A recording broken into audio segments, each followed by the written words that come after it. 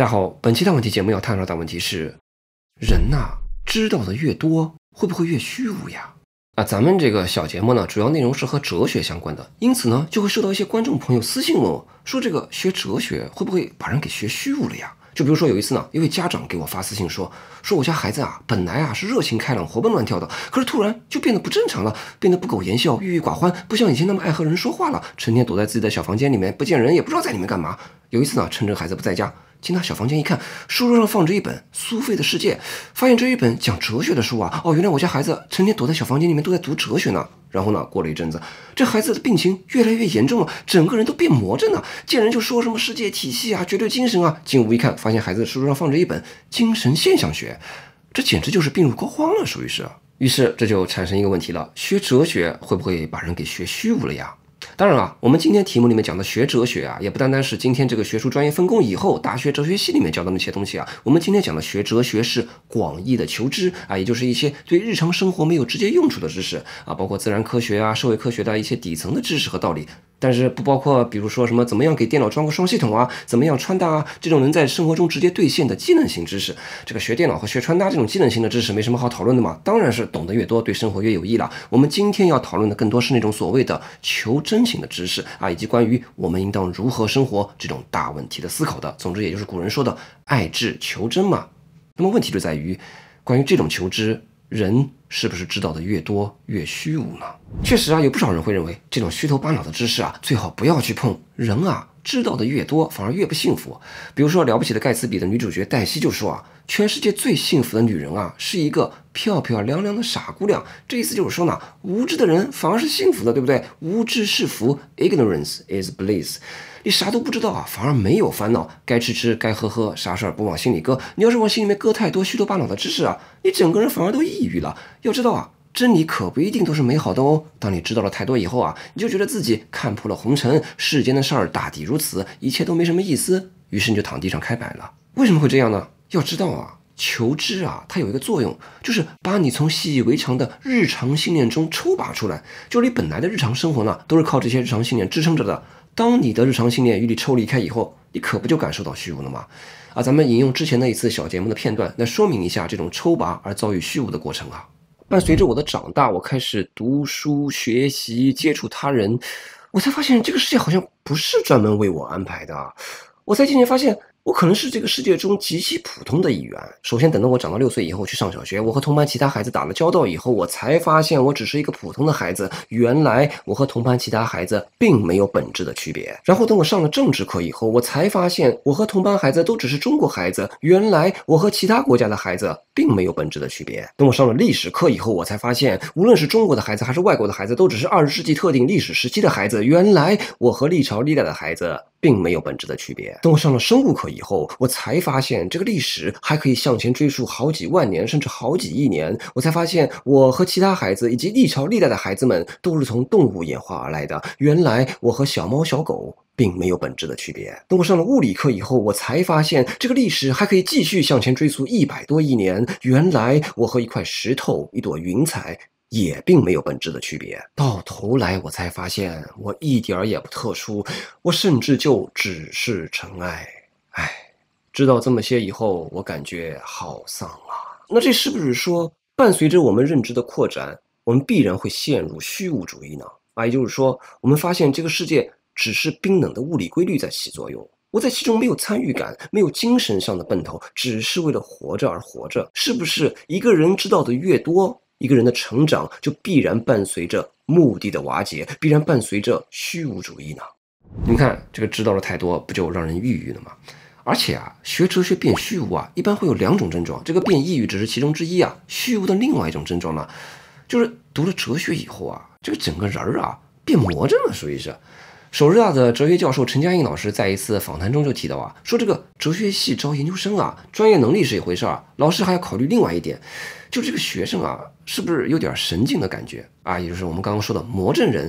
这个哲学系啊，特别招魔怔人的喜欢。我自己也有这个经历啊，就是我以前在大学哲学系里面念书的时候啊，有段时间我是在老师办公室里面上自习啊，我就发现啊，这个哲学系的老师办公室门口啊，时不时就会有一些。衣着不整、形容诡异的奇异人士徘徊啊！就比如说有一次呢，有一位奇异人士就敲门进了办公室，说自己发现了宇宙的终极真理，啊，弄出了一套结合了辩证法、现象学、佛学、道家思想以及量子力学的巨型真理体系。啊，他以为我是哲学系的老师嘛，他就一把掏出了这个巨型真理体系，说要跟我比划比划。当时我整个人都吓傻了。好，我们说回来呀，经常收到私信问学哲学会不会把人学虚无了。我呢，每次都会为哲学开脱，我都会回答说啊，哎呀，这不是哲学的锅了，并不是学哲学把人学虚无了，而是人们在自己的生活形式中先遭遇到了虚无，而遭遇虚无的人往往容易去读哲学。因为他们会把哲学看作是对虚无的一种解决方案嘛，所以呢，并不是学哲学让人学虚无了，而是虚无的人容易学哲学，这因果关系可不能倒置哦。但是呢，我的回答算什么呢？我又不是什么哲学家，所以呢，我们今天就来看看历史上的大哲学家们，他们是怎么看待求知会不会让人变得虚无这个问题的。我们今天邀请了四位哲学家来解答这个问题，他们分别是。主张一种法式启蒙主义的法国哲学家狄德罗，主张一种浪漫主义的法国哲学家卢梭，主张一种苏格兰式启蒙主义的苏格兰哲学家休谟，主张一种哲人至上主义的古希腊哲学家柏拉图。你们来评一评，他们对于这个大问题的解答是否合理？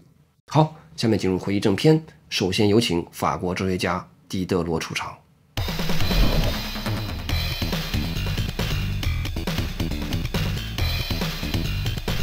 求知会不会让人虚无呢？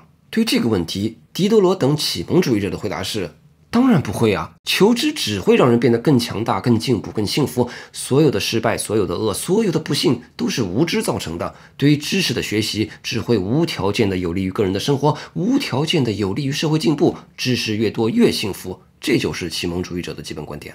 啊，当然啊，我们上历史课的时候都学过啊。所谓的启蒙运动是一个历史比较漫长的思潮。启蒙运动简单说就是啊，要开启明智，要鼓励大家多学知识。启蒙启蒙嘛，就是让大家从蒙昧无知的状态中脱离出来嘛。那么这个启蒙运动虽然它叫运动嘛，但是不像奥运会那样有个明确的开幕式和闭幕式，它没有特别明确的起止时间。这有人说呢，启蒙从笛卡尔和牛顿的时代就开始了，然后一直持续到十九世纪。当然这就说不准了嘛。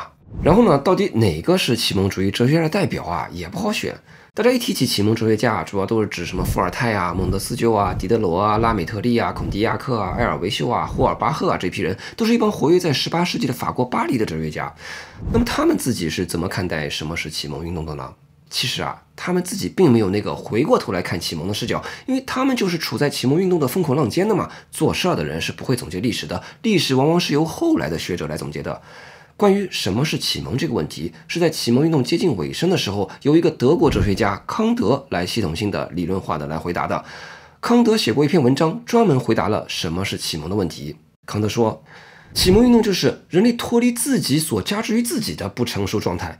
不成熟状态就是不经别人的引导，就对运用自己的理智无能为力。当其原因不在于缺乏理智，而在于不经别人的引导就缺乏勇气与决心去加以应用时，那么这种不成熟状态就是自己所加之于自己的 s a b e l i o d e r 啊，这个拉丁语的意思就是要有勇气运用你自己的理智，这就是启蒙运动的口号。这什么意思呢？就是说啊，你在你自己的生活中碰上什么事儿啊，你得自己动脑子想主意啊，你不能像一个未成年的小孩子一样啊，遇到什么事情第一反应就是去问领导、问家长或者问上帝，自己不敢动脑子想办法。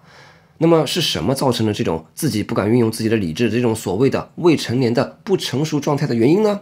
在康德看来，不是因为笨，是因为你智力上的懒惰。康德接着说，懒惰和怯懦啊，乃是何以有如此大量的人，当大自然早已把他们从外界的引导下释放出来以后，却仍然愿意终身处于不成熟状态之中，以及别人何以那么轻而易举的就悍然以他们的保护人自居的原因所在。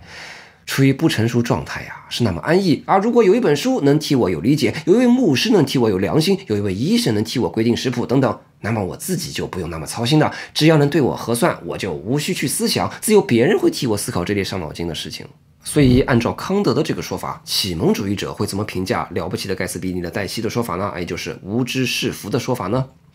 启蒙主义者会说啊，你这不叫无知是福。你这叫做智力上的懒惰啊！你之所以会有无知是福的错觉啊，是因为你就是懒，你就是不想好好学习，然后呢，你就为自己的懒找了各种借口啊，知识越多越虚无啊，知道的越多反而不幸福啊！你这借口说多了，还真把自己给骗了，典型的认知失调了，属于是。这就像什么呢？这就像我们穷人啊，总会觉得，哎呀，这个有钱人的生活啊，其实也挺痛苦的，钱越多越烦恼的哦，对吧？我才不要那么痛苦，钱少点反而更幸福，对不对？瞎挣那么多钱干什么？给谁挣啊？玩命啊！但是呢，这只是你自己骗自己而已啦。其实有钱人的快乐你根本没法想象的啦，贫穷只是限制了你的想象力。那同样的道理呢，所谓的知识越多越虚无的断言啊，只是蠢货们自我欺骗的把戏。无知者就没有烦恼了吗？无知者的烦恼只会更多，而且成天只会为一些特别低级的事情而烦恼。然而，智慧带来的快乐，无知者根本无法想象。好，说完康德对启蒙运动的阐释啊，我们说回法国那一批启蒙哲学家。之前也说了，法国启蒙哲学家有一大票人，什么伏尔泰啊、蒙德斯鸠啊、狄德罗啊、拉美特利啊、孔迪亚克啊、埃尔维修啊、霍尔巴赫等等。为什么我们这里要单挑出狄德罗作为一个代表呢？是因为狄德罗有什么独特的哲学思想能够说明启蒙的精神吗？啊，并不是啊。狄德罗本人的哲学思想啊，其实并没有太多的开创性。那为什么选他呢？这就要说到启蒙运动的精髓了。其实啊，启蒙运动啊，重点不在于提出了什么哲学理论，而在于能够让知识在老百姓那里得到传播。简单说，启蒙运动的精髓就是开启民智。所以，启蒙的重点不是搞科研，而是搞科普。我们要知道啊，虽然在启蒙运动之前，欧洲已经发生科学革命了，也就是伽利略啊、牛顿啊，他们已经搞出现代科学了。然后，这个欧陆理性主义哲学和英国经验主义哲学也在争奇斗艳。但是啊，这个科学啊、理性啊，只是少部分知识分子的事情。这个伽利略啊、牛顿啊、笛卡尔他们研究的东西，大部分老百姓是不知道的。当时老百姓都还是普遍处在蒙昧无知的状态中的。其实啊，这种状况自古以来一直都是这样，就是知识一直都是有的，但自古以来知识只是被少部分知识精英垄断了。但是现在启蒙时代来了，知识就不应当再被少部分知识精英垄断了，广大老百姓都要学习知识，都要学会在生活中运用理性。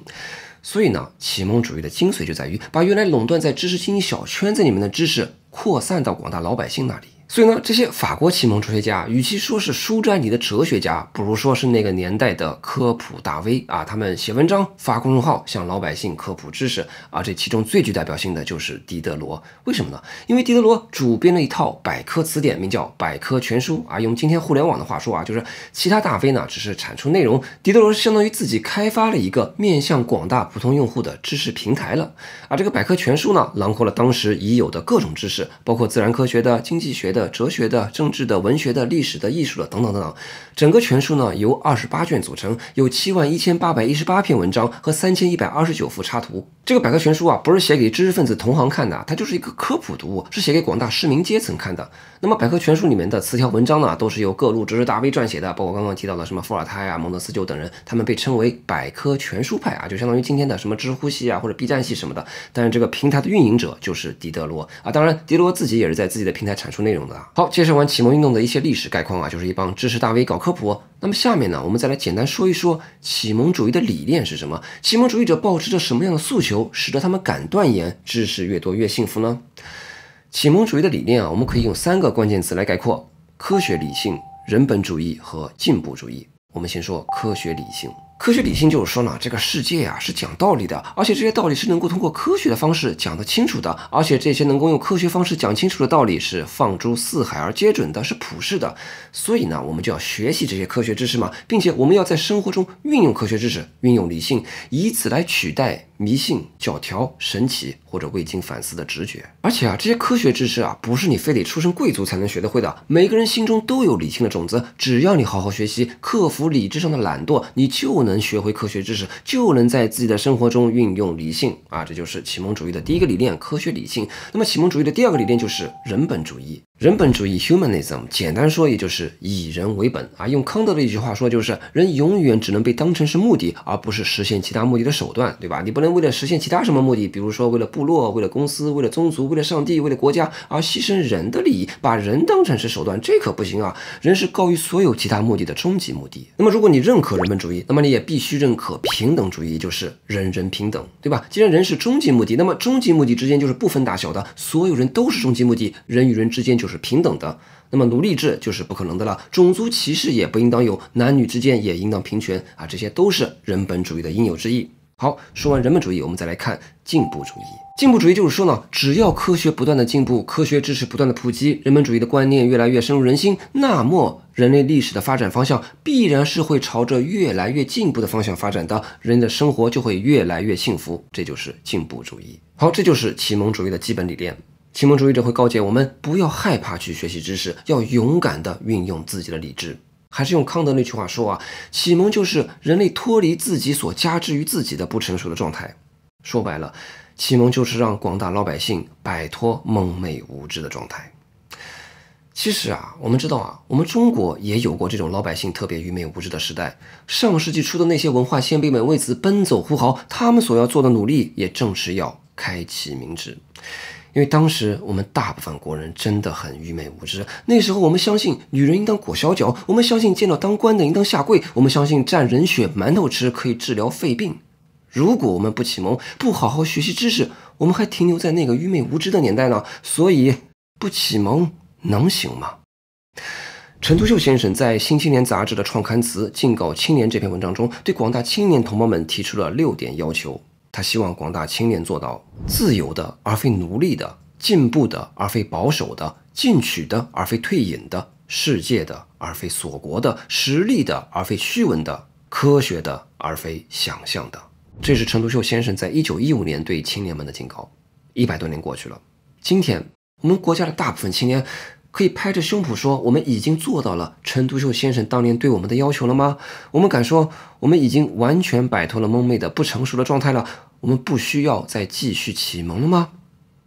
好，关于启蒙主义的看法就说这么多。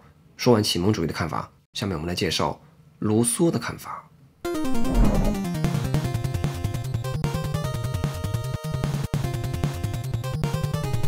如果我们开篇提到的那个家长啊，给卢梭发私信，那真算是问对人了，对吧？大家都知道，卢梭写过一本讲如何教育孩子的经典名著，叫做《艾米尔》。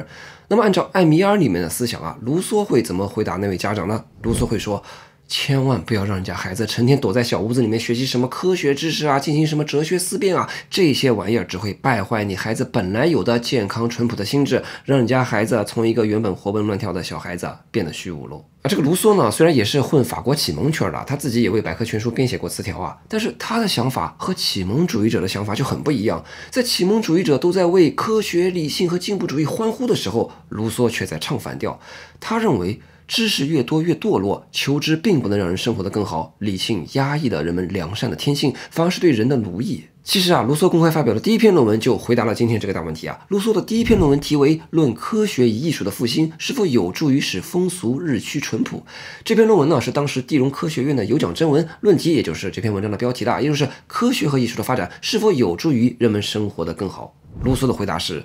并不会，这些科学呀、哲学呀、文学啊、艺术的发展只会造成世风日下，让人们的道德越来越败坏，生活越来越不幸福。卢梭认为啊，自从人们学了各种知识以后啊，这个人呐就开始变得虚伪啊，就觉得自己是个文化人呐，说话不引经据典，就好像没法交流似的，说话是一套一套的，但说的呢全都是空话，都是套话，就是只会玩梗，但丧失了真诚的交流。而且呢，这种只会玩梗但不会说人话的虚伪的状况呢，又让人丧失个性啊，这个所有人呢都好像是一个模。字刻出来的都变成了梗的复读机。卢梭认为呢，这个有知识啊，还会让人变得功利，而只会重视金钱方面的价值，只会计算人与人之间的利益得失，而忽略了人与人之间的情感连接。而且呢，理性啊还会败坏人的道德。就是你知识变多了，你就不会去信仰一些东西，见什么事情呢都要批判批判、怀疑怀疑。这种人就会不信上帝，不爱国家。尤其卢梭说啊，这个哲学啊就很讨厌。一旦一个人爱上了哲学啊，这就会松弛他与社会的联系，他就不那么尊重人和亲近人了，躲在自己的小世界里面啊。就是我们之前说的魔怔了，属于是。用卢梭自己的话说，就是。哲学家傲气十足地轻视别人，他只爱他自己，他爱自己的心增一分，他对别人的漠不关心的态度也就跟着增一分。在他看来，什么家庭啊、祖国啊，全都是空话。他既不是任何人的亲友，他也不是公民，他不是凡人，他是哲学家啊！啊，当然了，在这篇文章里面，卢梭说了很多知识带来的弊端啊，我这就不一一列举了啊。这篇文章也不是很长，大家感兴趣的话可以去自己读一读啊。那么我们这里就要问啊，为什么卢梭会做出如此断言，说知识越多越堕落呢？哎，这就要说到卢梭关于人性的哲学理论了。而这个呢，就是卢梭写给地荣科学院的第二篇有奖征文，论人与人之间的不平等的起因和基础。这篇文章就是说呢，这个人的本性啊，其实啊是非常健康淳朴的。简单说就是人性本善吧。而人世间的一切恶、一切不平等，都是后天的文明造成的。哎，这话怎么说呢？卢梭区分了两种状态，就是说人类在进入文明状态之前啊，还有一种自然状态。这个自然状态呢，就是尚未受到文明的污染的人的生存状态，就类似于原始人吧。卢梭认为呢，自然状态下的人类啊，他没什么知识，靠着两种大自然赋予的本能而生活，那就是自保和同情。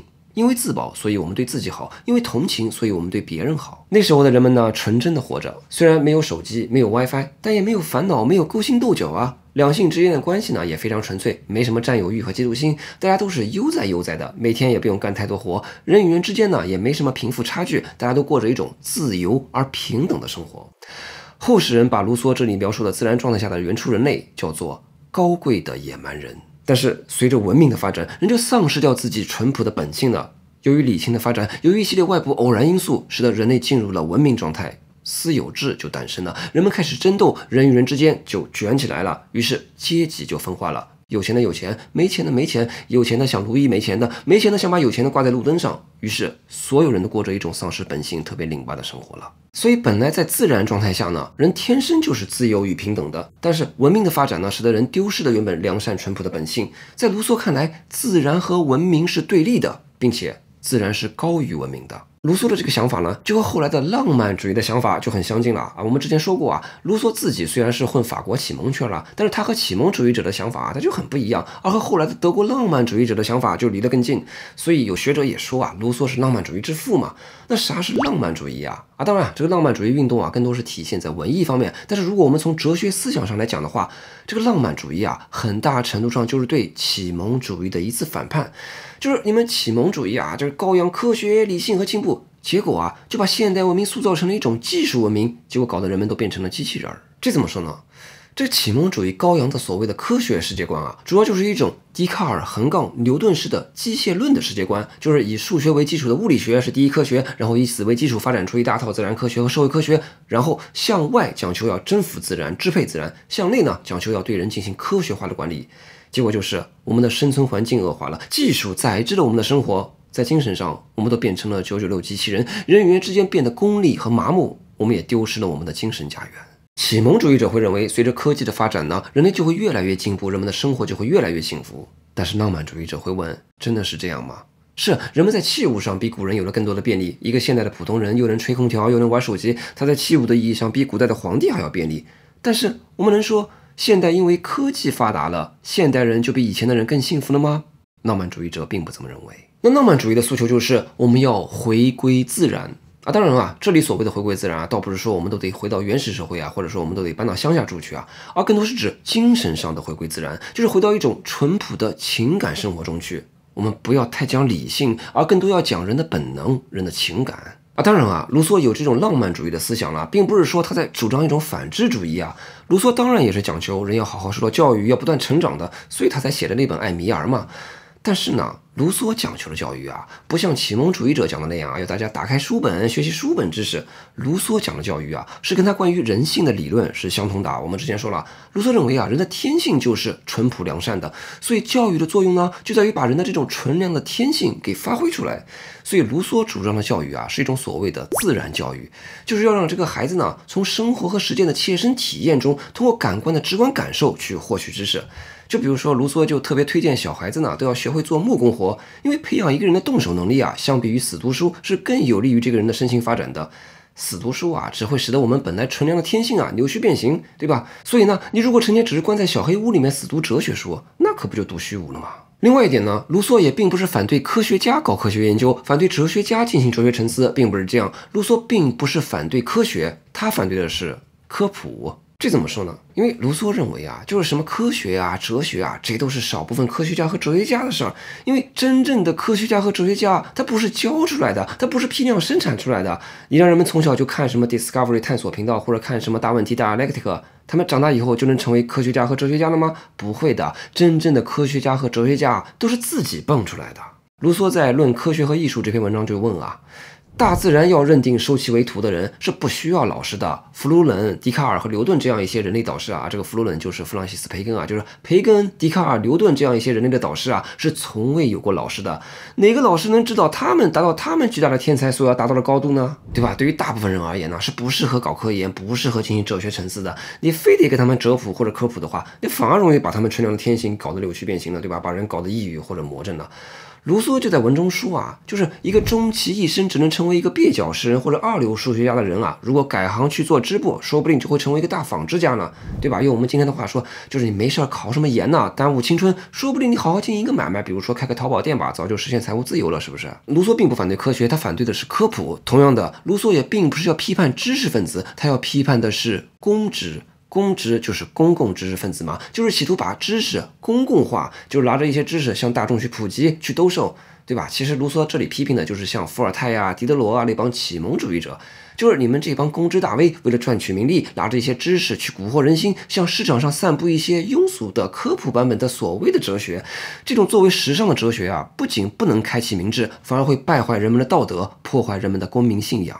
好，这就是卢梭关于知识越多越虚无的看法。简单总结，人的天性纯良，理性让人堕落，一味的学习书本知识只会败坏人们纯良的天性。不知道你觉得卢梭的看法有没有道理呢？好，说完卢梭的看法，下面我们来介绍休谟的看法。在这里插播一段节目说明啊。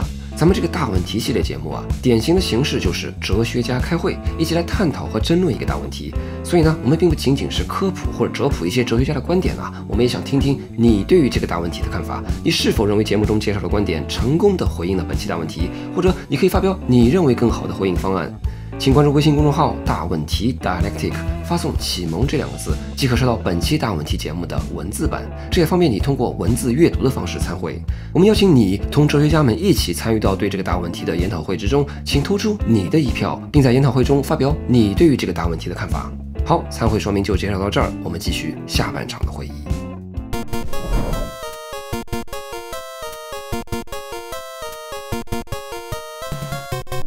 苏格兰哲学家大卫·休谟会怎么回答“学哲学把人学虚无了”这个问题呢？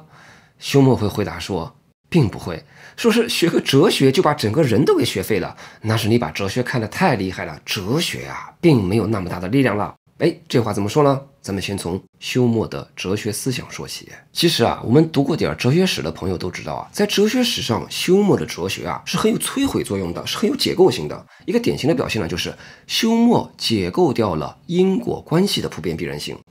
我们知道啊，这个自然科学啊，研究的就是事物之间的因果关系嘛，对吧？就比如说太阳出来了，石头热了，哎，我们会认为是太阳的照射造成的石头发热了，太阳照射是原因，石头发热是结果，对吧？这就是个物理学规律嘛。当然啊，你要给出这个颗粒度更细的说法的话，那就是太阳所发出来的热能加速了石头的分子运动，对吧？反正甭管怎么说，有原因必然有结果。因为所以自然有理嘛，那自然科学研究的就是事物之间的因果关系，并且呢，这种因果关系啊是普遍的、必然的。也就是说呢，无论在地球上的哪个角落啊，这个太阳只要出来了，那么石头必然会发热，对吧？有了这种普遍必然性，才能形成放之四海而皆准的规律嘛，才谈得上是科学规律嘛，对不对？但是休谟说，事物之间的因果关系啊，可不是普遍必然的哦。哎，为什么这么说呢？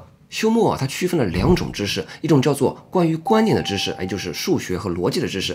那这种知识呢，它就是普遍必然的，对吧？二加二必然等于四，或者如果 a 大于 b 且 b 大于 c，那么 a 就必然大于 c，对不对？你无论在哪个国家，甚至无论在哪个平行宇宙里面，a 也必然大于 c，这是普遍必然的。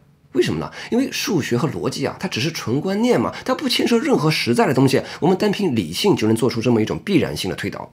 但是，除了纯数学和纯逻辑之外的知识，只要它牵涉的实在的东西，那么它就不是必然的知识。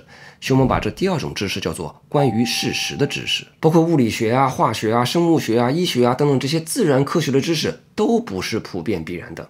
为什么呢？你想啊，就比如说太阳出来了，石头热了，这其中有什么逻辑上的必然性吗？你能从逻辑上推导出来啊？因为太阳出来了，所以石头就热了吗？这两者之间没有任何逻辑关系。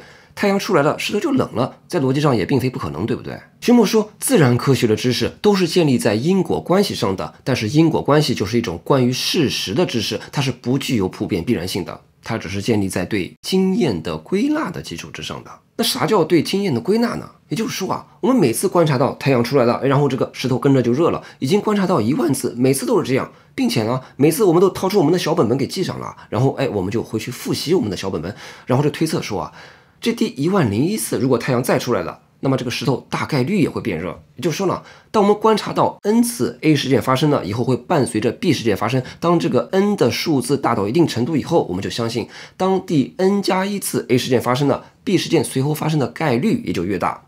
但是说回来啊，概率再大也只是概率而已，这只是我们不停的拿小本本记录以后形成的归纳，归纳是不具必然性的，因为完全有可能第 n 加二次 A 事件发生了，B 事件并没有发生，对不对？这就是著名的休谟问题。简单说，就是我们无法确知因果之间具有普遍必然性的联系，因果关系只是我们在小本本上归纳的次数比较多而已。这个问题直到今天还是让科学家和哲学家挠头的一个问题啊。哎，你听到这里可能会觉得不对劲。我们一开始说了，休谟并不认为学哲学会把人学虚无了，但是现在听到休谟自己的哲学思想。感觉整个人都虚无了，因为感觉休谟又把自然科学的根基都要解构掉了，因果关系不具普遍必然性。那么我们生活中还有什么东西是可信的？这感觉休谟要把我们整个生活都给解构掉了。这个休谟哲学也太具摧毁性了吧，对不对？你可能会觉得休谟你好激烈哟。哎，其实并不是这样的啦，休谟并不是一个激烈的人呐。其实呢，休谟是很温和的人呐。休谟本人的性格也就是这样啊。休谟是个大胖子啊，心宽体盘的，为人很温和，也喜欢交朋友，做人不极端，成天乐呵呵的，大家都很喜欢他。休谟的哲学呢，也和他的为人的性格一样。休谟的哲学并没有解构掉我们的生活，休谟解构的是理性。休谟恰恰是要通过解构理性来抬高生活本身。这怎么说呢？休谟啊，解构因果关系的普遍必然性啊，并不是要解构掉因果关系本身，或者说要解构掉科学，而是说啊，这个科学的发展啊，它并不是理性建构出来的。科学的发展是根植于我们的生活经验的，是我们拿着小本本去抄写《生活》这本大书而得来的。生活啊，才是一本更大的书。因果关系啊，它并不是不存在的，只是说它不是理性的产物，而是根据生活经验而产生的习惯性联想。理性啊，并不高于生活了。用休谟的话说，习惯是人生伟大的指南。休谟也并不是要说我们不应当运用理性啊，而是要反对把理性的作用过分抬高啊。这就是我们为什么一开始说啊，休谟会认为，你如果学个哲学把人都学废了，那你真是太高看哲学了。理性啊，没有那么大的作用了。哎，说到这个呢，我们就要说一说以休谟为代表的苏格兰启蒙主义和我们刚刚介绍的法国启蒙主义之间的区别了。啊，我们通常以为的启蒙主义啊，大多都是指法国启蒙主义或者叫做欧洲大陆启蒙主义啊，就是我们刚刚介绍的启蒙主义啊。但是呢，在差不多同时代发生在苏格兰的启蒙运动，它的气场和法国的启蒙主义就很不一样啊。休谟就是苏格兰启蒙主义的代表思想家之一啊。另外的代表呢，还有休谟的好基友，也就是经济学之父亚当·斯密。此外，还有哲学家弗兰西斯·哈奇森以及哲学家托马斯·里德等人啊。当然啊，这个苏格兰启蒙和法国启蒙，他们之间还是有很多共同诉求的嘛。毕竟他们都是启蒙主义嘛，都讲求要开启明智，向广大老百姓普及知识，都讲求要在生活中运用理性，而不是要诉诸迷信。但是呢。苏格兰启蒙和法国启蒙之间啊，有个重大的不同，就体现在他们如何看待理性。这个法国启蒙主义啊，更多秉持一种欧洲大陆式的理性主义，就是说啊，我们能够摘出来一个干干净净的理性，而且这种理性呢，由于它是干干净净的嘛，所以它就是放诸四海而皆准的。那么我们就能够凭借演绎法，从中推导出一系列大真理、大体系、大设计。然后呢，我们根据这种大设计呢，不仅能够指导我们搞科研、搞哲学啊，还能指导我们进行社会改造。对吧？之前我们介绍法国启蒙的时候也说过，只要科学不断进步，知识不断普及，整个社会就会越来越进步。但是与此不同呢，休谟这些苏格兰启蒙主义者啊，首先并不认为我们能够摘出个干干净净的理性。休谟认为呢，理性啊，永远是和人的情感裹挟在一起的，不存在法国人认为的那种纯粹的悬空的理性。这种纯粹理性本身就是非理性的，对不对？由于不存在这种纯粹的理性呢，因此呢，也就不存在放诸四海而皆准的真理体系。理性是脱离不开我们的日常生活。经验的休谟认为呢，相比于我们的日常生活经验啊，理性的力量并没有那么强大了，生活才是一本更大的书。所以呢，我们要尊重生活，尊重常识，尊重人的情感，尊重习俗和传统。这个法国启蒙主义和苏格兰启蒙主义对待理性的不同看法呢，其实也是根植于当时的欧洲理性主义哲学和英国经验主义哲学这两种哲学理念的不同之上的。这个欧洲理性主义啊，讲求演绎法啊，只要我们躲在小房间里面，好好发挥我们的理性，通过演绎法就能构建出一套真理体系，然后我们按照这个真理体系就能实现人间至善啦。所以呢，这个法国启蒙主义啊，它就讲究自上而下的顶层设计，讲究社会整体工程；而苏格兰启蒙主义啊，更遵从英国经验主义哲学讲究的归纳法，更讲究尊重生活和尊重常识。所以呢，他们就讲究自下而上的自发秩序，讲究市场经济的无形之手。我们此前有一期节目啊，讲这个社会科学能不能成为像物理学那样严密的科学啊？里面介绍的哈耶克的思想，其实也是传承自苏格兰的启蒙精神啊，也就是反对理性的自负，反对唯科学主义，讲究生活的不确定性，讲究自发秩序和市场的无形之手，这都是苏格兰启蒙主义的精神。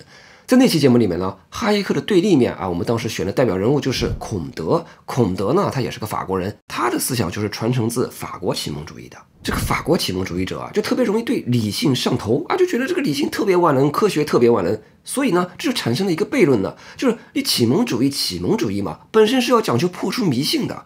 是你们一开始确实破除了对宗教的迷信的，讲究事实要发挥自己的理性。但是现在你们又把理性本身给推上神坛了。刚对上帝下了头，现在又对理性上头了。法国启蒙主义这种对理性的上头主义呢，就使得这个法国启蒙啊更加激进，而苏格兰启蒙则相对更加稳健啊。所以苏格兰启蒙运动催生的是英国保守主义，而这个保守主义倒不是说要主张腐朽和落后的理念啊。保守主义简单说，也就是哈耶克所说的反对理性的自负，别轻易上头，别动不动搞出个大设计出来，然后进行社会整体改造，侵害人们的自由。所以英国保守主义保守的是自由的传统。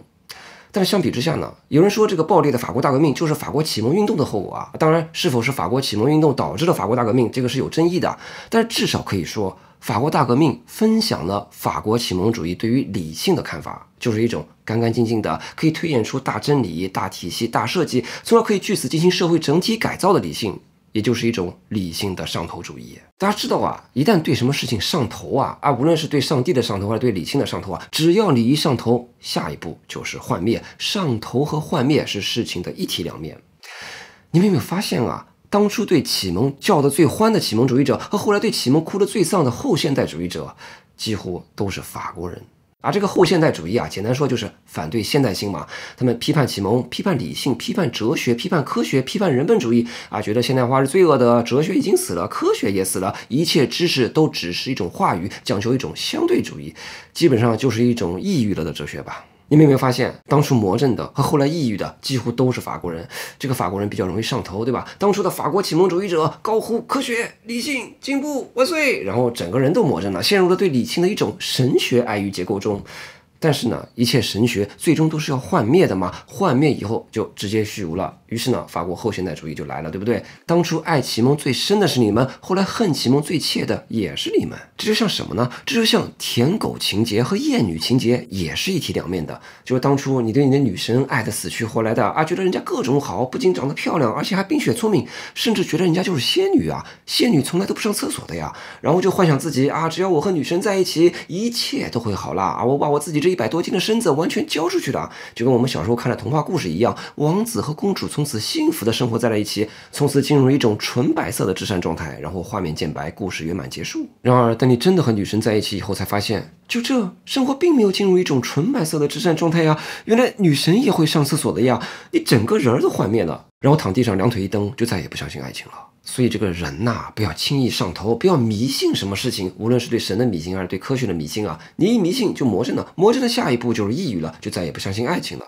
你看人家后世的苏格兰启蒙主义的继承者，就比如说哈耶克他们，人家就没有虚无啊，人家后来没躺地上说哲学死了，科学死了，因为他们的前辈啊，也就是休谟他们，从一开始就没有迷信理性啊，你不迷信了就不会魔怔，你不魔怔了就不会虚无，对吧？你学个哲学还把自己学废了，就是因为你当初你太迷信哲学了嘛，悠着点儿，哲学没那么厉害了，我们还是要尊重生活，尊重常识，尊重情感，没有什么哲学问题是一顿火锅解决不了的啦。用休谟的原话说就是。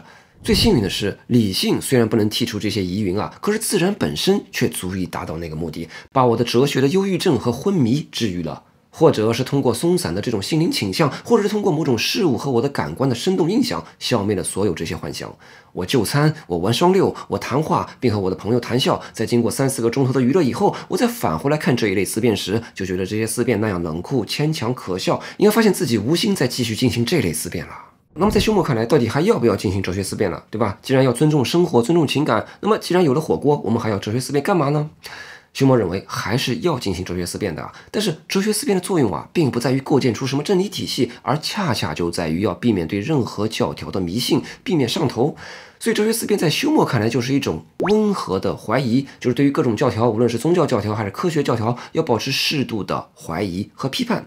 注意哦，是温和的怀疑，温和的怀疑可不是虚无主义哦，温和的怀疑恰恰就是为了尊重生活，而避免自己陷入一种上头的状态。而用我们今天的话说啊，休谟的哲学啊，就相当于一种批判性思维 （critical thinking）。这种哲学呢，是一切幻象的解读剂和清醒剂。这个康德当年也是一个上头男孩啊，也就是一个形而上学的独断论者，也正是服用了休谟哲学这一剂解毒剂。用康德自己的话说，就是把他从独断论的迷梦中叫醒。所以，如果你学的是休谟的这种哲学，就是这种批判性思维的话，那你肯定就不会把自己学魔怔或者学虚无了。休谟的哲学思辨反而能够让人获得一种精神上的愉悦，而用休谟的原话说，就是如果啊我们是哲学家的话，那么我们的哲学啊只应该是根据怀疑主义的原则，并且呢是由于一种我们感觉到一种喜爱从事哲学思想的倾向。不论什么地方，理性如果是生动活泼，并与某种倾向混合起来，哎，我们就应该加以同意。理性如果不是这种情形，那么它便永远不能有影响我们的任何权利。这意思就是说啊，这个哲学思辨啊是一件让人心情愉悦的事情，对吧？就是每天都要思辨，没有别的想法，只是为了心情愉悦。好，这就是休谟对于学哲学会不会把人学虚无这个问题的回答。不知道你认不认可他的看法呢？好，介绍完休谟的看法，下面我们来介绍柏拉图的看法。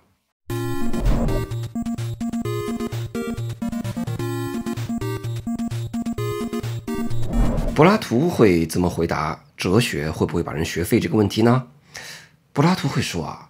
这个问题啊，它比较复杂，咱们一点一点的掰扯。首先啊，在柏拉图看来，哲学啊，它当然是好东西啊。我们知道啊，哲学这个词儿就是来自于古希腊语嘛，它直译过来就是爱智慧嘛，philosophy 啊。那学哲学的人呢，就是哲学家嘛，也就是爱智者。哲学沉思是全世界最幸福的事情。要知道啊，在柏拉图看来，哲学是至高的东西啊，也就是最好的东西，甚至可以说是人类文明的终极目的了。这肯尼迪不说过吗？不要问国家能为你做什么，而要问你能为国家做些什么。那套用这个句式，柏拉图会说。不要问哲学能为城邦做什么，而要问城邦能为哲学做些什么。因为哲学沉思是生活的终极目的了嘛。那么整个人类社会的一切努力，就是为了让人类文明能够冒出哲学的火花。哲学是全世界最好的东西，那哲学家就是全世界最好的人。这种人最有智慧、最幸福、最优秀、最能处。这种人应当当王啊！这也是柏拉图提出的一个著名的说法，就是。哲学王或者叫做哲人王 （philosopher king），一个哲学家当王的城邦才是最理想的城邦，也就是所谓的理想国。那么，既然哲学这么好，那么是不是我们应当提倡人人都学哲学，所有人都成为哲学家呢？柏拉图对此的回答是，并不是。进行哲学沉思、探究真理，确实是最让人感到幸福的事情啊。但是，这只是对少部分心智发达的哲学家而言的，对于大部分人。真理反而是有害的。对于大部分老百姓，他们去探究真理，不仅不会让他们更幸福，反而会把他们搞虚无喽。为什么呢？这是因为在柏拉图看来啊，人与人在心智方面是不平等的。探究真理对于少部分心智发达的哲学家而言是最幸福的事情，而对于大部分心智不发达的民众而言，真理则是可怕的。柏拉图提出过一个著名的洞穴的比喻啊，就说呢，这个真理呢，就像是这个太阳啊直射出来的强光，对于大部分心智不足的人而言呢，他们呢就相当于长期生活在洞穴里面，让他们去接触真理呢，就好像一个刚走出洞穴的人直视太阳直射出来的强光，这反而会灼伤他的眼睛。要知道啊，人人平等这个观念啊，是到了启蒙运动以后，或者至多是到了基督教普及以后才有的观念啊。虽然启蒙主义者也说啊，有些人很无知啊，启蒙主义者也说无知是不好的，但是启蒙主义者认为每个人心中都有理性的种子，你只要好好学习，克服理智上的懒惰，你就能成为一个脱离蒙昧状态的智力上成熟的人。但是呢，在柏拉图看来啊。由于人与人之间禀赋的不同啊，以及由于运气的原因啊，不是每个人通过简单的努力就能在智慧的爱欲阶梯上轻松攀爬的。大部分人的心性啊，就不适合爱智求真，就像你非得训练一个没有运动天赋的人去做足球运动员一样。他能踢吗？踢不了，没那个能力。你要是真把哲学思辨外传出去，没有心智能力的人一接触哲学就虚无了。这虚无了呢，他们就觉得自己看破了一切，就啥也不信了。这样就不利于城邦的团结，因为城邦的团结是需要公民信仰的。对于心智能力不足的人而言，哲学就是对城邦政治信仰的破坏。而且呢，这对于哲学家自己也是不利的，因为老百姓会觉得啊，就是哲学家成天搞这些虚头巴脑的东西，败坏城邦的政治信仰，非得说洞穴外面的世界才是真实的世界。这种人真烦人，我们要把他给弄死。苏格拉底不就这么给弄死的吗？所以呢，哲学探究只能局限在哲学家小圈子里面，这事儿是不能外传的。哲学可不是一个大流量的玩意儿，哲学是没法用户下沉的。所以，少部分哲学家关心的东西和广大民众关心的东西要区分开来。柏拉图据此区分了两种性质的对象，一种叫做真理 （truth），一种叫做意见 （opinion）。真理呢，就是哲学家探究的对象；意见呢，是大部分老百姓习惯成立的一些信念。意见是片面的，但却是让人舒服的一些信念。那这是不是说啊，哲学家哥几个在爱智俱乐部里面悄悄的探求真理，也甭管老百姓了啊，就让他们自生自灭，让他们成天沉溺于意见，成天刷鸡汤短视频就够了？啊，也不是这样啊。之前不说过，哲学家应当当王，成为哲人王嘛？那么在哲人当了王以后，在理想国中，哲学家就是不能不管老百姓的啦，他还是要下降到洞穴里面。这时候，哲学家还是要向老百姓说话的。不过这时候对老百姓说的就是一种所谓的。高贵的谎言啊，说它是谎言呢，意思是说这个哲学家不能太实诚，把真理直接传播给民众嘛。所以呢，高贵的谎言不是真理，依然只是一件。不过它是高贵的一件，因为它是对城邦的公共生活有益的意见。那在这里，柏拉图是不是在鼓吹说谎是对的呢？啊，当然不是啊，这并不是一个简单的道德问题，而是说只有知识上发达的人才有资格去说，并且说好高贵的谎言。这什么意思呢？要知道啊，在古希腊哲学家看来，美德就是知识。也就是说呢，一个人在道德上的修行和一个人在知识上的修行是同一套修炼体系，德行和知识是正相关的。因此呢，那些心智发达的人啊，也就是哲学家，由于他们爱智求真，所以他们才不会干出坏事儿。因此，也只有这些心智发达的哲学家才会用以及用得好高贵的谎言。所以呢，高贵的谎言虽然是一种意见，但却是由心智发达、德行卓越的哲学家说出来的有益的意见。这不仅保护了哲学，也对广大民众的生活是有益的。好，总结一下柏拉图的看法：哲学是最好的东西，哲学沉思是全世界最幸福的事情。但是，人与人之间在心智方面是不平等的。探究真理只适用于少部分心智发达的哲学家，对于大部分人而言，真理反而是有害的。他们需要的不是真理，而是有益的意见。这就是柏拉图的看法，不知道你认不认可呢？好，说完柏拉图的看法，下面我们进入会议总结。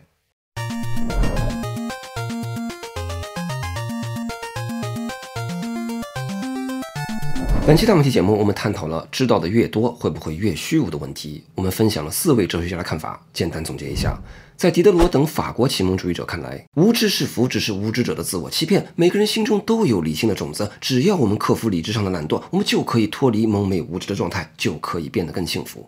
在卢梭等浪漫主义者看来，人的天性纯良，理性让人堕落，一味的学习书本知识只会败坏人们纯良的天性。在休谟等苏格兰启蒙主义者看来，理性的作用是有限的。我们要尊重生活，尊重常识。理性的作用更多是一种温和的怀疑，以此来保持头脑清醒，避免对教条上头。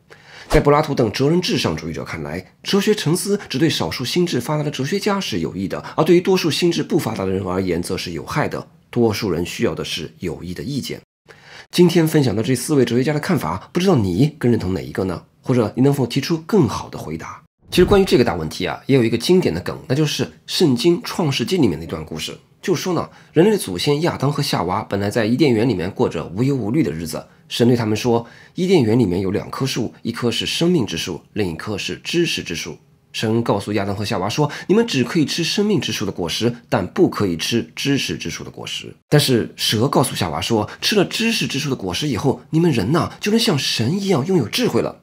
于是夏娃在蛇的引诱下偷食了知识之树的果实，人类从此便有了智慧。你们看啊，这个夏娃和黛西就不一样，她就不想做一个漂漂亮亮的傻姑娘啊。人类第一个爱智者是一个女性哦，但是呢，爱智也是有代价的。按照创世纪里的说法啊，人类自从偷食了知识禁果之后，就从一种永生的存在变成了有死之物。